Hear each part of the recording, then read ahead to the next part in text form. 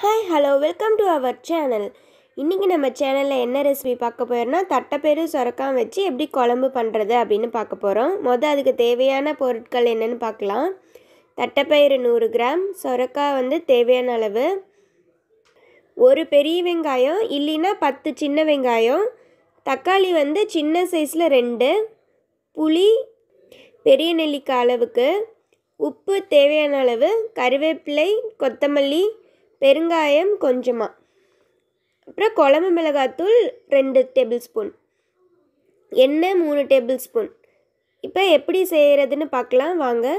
முதல்ல தட்டைப்பயிரை வந்து குக்கரில் போட்டு குழம்புக்கு தேவையான அளவு தண்ணி ஊற்றிட்டு கூடவே கொஞ்சமாக மஞ்சத்தூளும் விளக்கெண்ணையும் சேர்த்து குக்கரில் நாலு விசில் வர வரைக்கும் அதை வேக வச்சு எடுத்துக்கோங்க.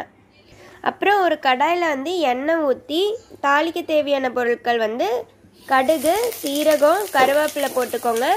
உங்ககிட்ட வந்து குழம்பு வடகம் இருந்ததுன்னா போட்டுக்கோங்க. அதனோட வாசனையே செம்மையாக இருக்கும். நம்ம குழம்புல அதை சேர்த்துனோம்னா சூப்பராக இருக்கும் குழம்பு. இல்லை உங்களுக்கு வந்து குழம்பு வடகம் கிடைக்கல அப்படின்னா இது மட்டும் போட்டு செஞ்சுக்கலாம். கடுகு சீரகம் கருவேப்பிலை போட்டு தாளிச்சிட்டு தக்காளி வெங்காயம் சொரக்காய் இதெல்லாம் வந்து நறுக்கி வச்சுக்கோங்க. நம்ம தாளித்த பிறகு வெங்காயமும் தக்காளியும் போட்டு நல்லா வணக்குங்க. தக்காளி வணங்குறதுக்கு கொஞ்சமாக உப்பு சேர்த்துக்கோங்க. தக்காளி வெங்காயம் நல்லா வணங்கி வந்த பிறகு நம்ம நறுக்கி வச்சுருக்க சொரக்காவை இப்போ சேர்த்திருங்க. சேர்த்தி நல்லா வணக்குங்க. சொரக்காய் நல்லா வணங்கினதுக்கப்புறம் குழம்பு மிளகாத்தூள் தேவையான அளவு சேர்த்திட்டு உப்பு தேவையான அளவு சேர்த்திட்டு அப்புறம் பெருங்காயம் கொஞ்சமாக சேர்த்திக்கோங்க. இப்போ இது எல்லாத்தையும் நல்லா வதக்குங்க. எல்லாம் நல்லா வதங்கின பிறகு புளி சேர்த்திக்கோங்க. நம்ம எடுத்து வச்சுருப்போம்ல தேவையான அளவு புளி அந்த புளியை சேர்த்திக்கோங்க. இப்போ நம்ம வணக்கினதுலாம் இருக்குல்ல அதை வந்து தட்டைப்பயிறு வெந்த அந்த குக்கரில் வந்து சேர்த்தி நல்லா கலரி விட்டுட்டு அதை மூடி வச்சு ரெண்டு விசில் விடுங்க. விசில் அடங்கின பிறகு கொத்தமல்லி தூவி சர்வ் பண்ணுங்க.